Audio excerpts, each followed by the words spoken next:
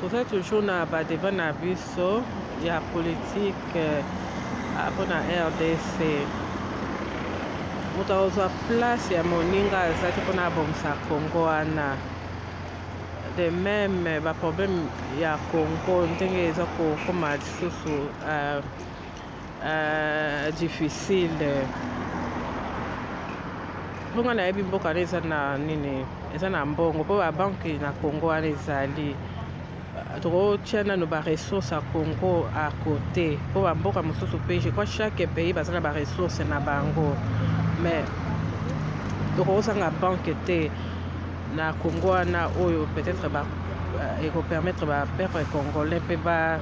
basala na accès ya vie mpe normale basala neti na baliquide oyo ezopermettre bango mpe balia euh, ezopermettre bango mpe baza na bandako basala mpe na vie normale comme d'autres pays à l'étranger mpo biso tozobundela mboka wana ezala bien comme tout le monde na bamboka bapays mosusu balukaka toujours intérêt mboka na bango bazala bien de meme ce que le congolais veut aussi ke bazala bien na mboka na bango mais kabila asali 18 ans de pouvoir eh, akoloba te ke akotaki bongo maboko pamba abénéficie na eloko te mpo na bamonde d'affaires à construire eh, biloko ebele na bapays mosusu mpe na kati ya congo wana oyo abeneficie na mboka wana po soki bayebi yango teke kabila aza rwandais mais azalaki ici président au congo mais abeneficie mpe na nini na mbongo ya bacongolais batika nde koluka peuple congolais basouffrir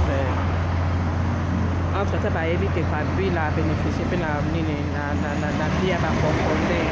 abénéficie mpe na mboka wana congo de meme mpe bato oyo nyonso to oyo baza baétranger na kati ya congo wana bazobénéficie na congo wana en même temps ko peuple congolais ezosouffrir donc batika koluka malheur ya peuple congolais soki bakokoka koavoua yango te mais baza baza claire que kabila asalaki 18 ans de pouvoir na congo presque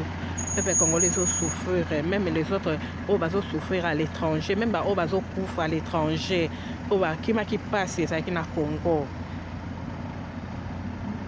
mais je sais bien peuple congolais nyonso to ayebi alukaka intérêt ya mboka na ye mais place mboka eza na stabilité te peuple congolais ezozwa problème à l'étranger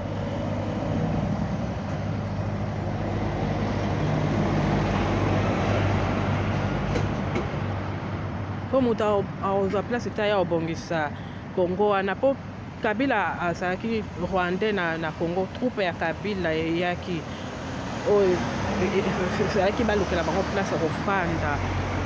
balesa bango mpe na kati wana mpo soki tozosala bamarshe à chaque fois bapeuple congolais eza mpo toyebi ke toza na besoin mboka na biso ezala bien ezala na calme mais soki balobi ke mboka wana eza na mbongo te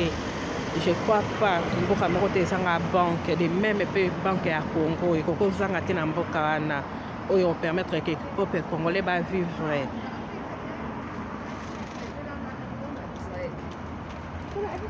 mais kabila oloba te kasala ye 18 ans de pouvoir wana abénéficiaki te na mboka wana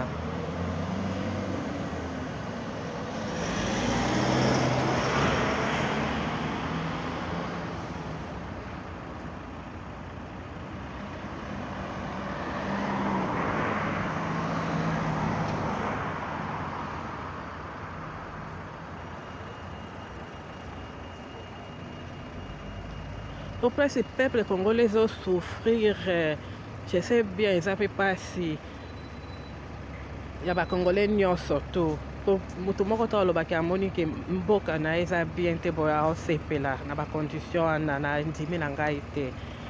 mpasi congolais azosouffrir eza mpasi ya bacongolais nyonso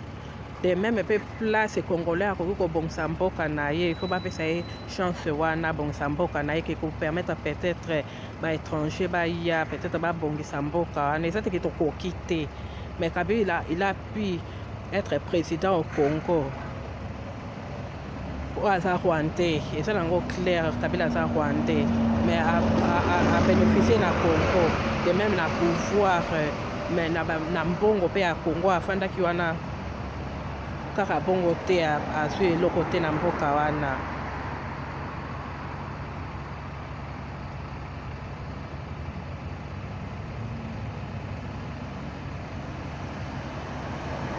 po ntango baguerre esalama na congo meme na bamarche en tout cas ko peuple congolais moto bakufaka eza baétranger te po place baétranger bakokufa boyebake baétranger bakokufa mpe je crois mpe bakosepela te mais mingi eza peuple congolais nde moto basufraka mpe banyokwama meme na bamarche oto ba problème oyo ezalaka na Congo wana pepe congolais banyokwamaka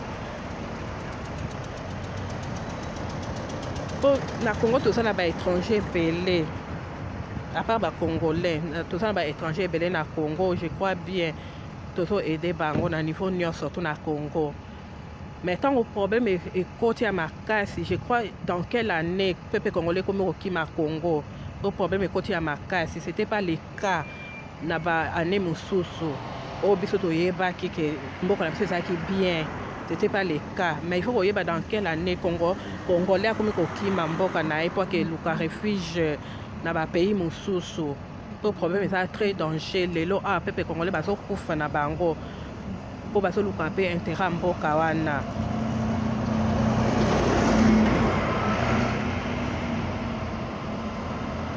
je crois bien meme ntango tozoloba ke baressource ya congo soki eloko eza lisusu te te na mboka congo wana mais toluka pas vraiment ke tokende koluka peut-être baressource ya, ya, ya mboka mosusu toza toujours na besoin tobongisa mboka na biso de meme na finance mpo babanke na congo ezali apart nanu babanke internationale oyo oh, nanu ya congo ezali mpe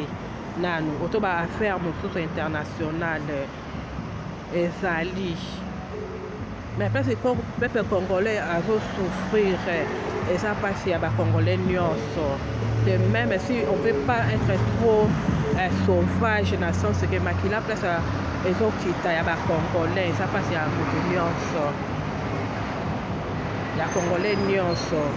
kasi congolais nyonso ta azolela eza place ya congolais nyonso na kati wana to tozosala bamarche je crois bien eza nango eloko moko te moto akosepela amonaka peut-être te tozomona na bavideo meme kosalaka bamarche chaque fois ntango ke les choses ne marche pas au congo peuple congolais sont obligé ya kokende bamarche wana kosala bacampagne